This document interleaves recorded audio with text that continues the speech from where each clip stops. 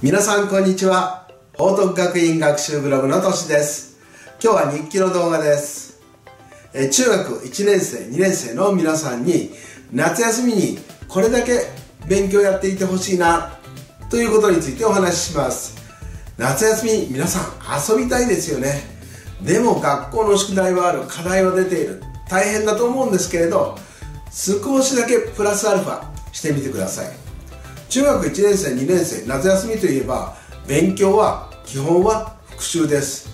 その復習の中にまず1つ目として1学期の定期テスト、ね、中間テストとか期末テストあったと思うんですけどそのテストで間違えた問題、えー、この問題を解けるようにすると。このことをやっておいてください。特にやっておいてほしい科目。数学と英語です。数学と英語は積み重ね。ね、これが必要な科目なのでわからない問題解けないままにしておくとそこから先どんどんどんどん勉強がわからなくなっちゃうんですよね。例えば小学校の算数思い出してください。九九を勉強しましたよね。九九ができないのに割り算ってできないでしょ？もちろん分数の数分とか約分分かりませんよね。つまり基礎の部分がなければ次に進めない科目。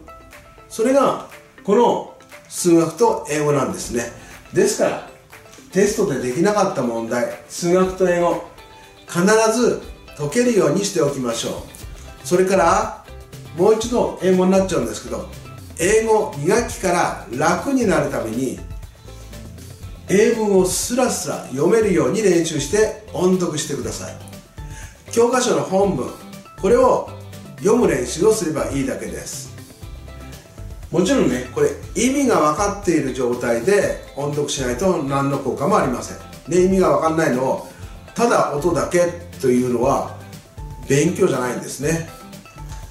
ですから意味が分かった状態でスラスラ読めるように音読します、えー、この音読によって英語の音とリズムこれに慣れてリスニングや読解問題こういうものに強くなっていくんですね。ですから皆さんの夏休みの勉強にプラスアルファとして定期テストのやり直し英語の音読これを加えてください。え今日も最後まで見ていただきどうもありがとうございました。ではまたお会いしましょう。さようなら。